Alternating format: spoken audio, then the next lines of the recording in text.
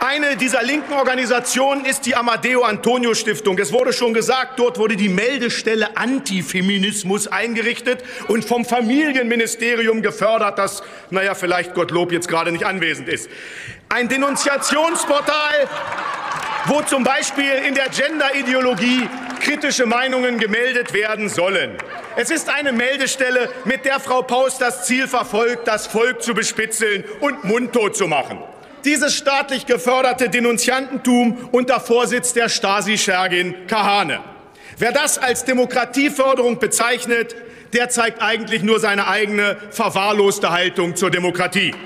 Kommen Sie bitte zum Schluss. Die Menschen, aber die es wagen, dem linken Totalitarismus entgegenzutreten, das sind die wahren Verteidiger der Freiheit, Herr die Reichert, wahren Ihre Verteidiger unserer. Demokratie. Die Feinde der Demokratie und der Freiheit sitzen dort auf der Regierungsbank, meine Damen und Herren.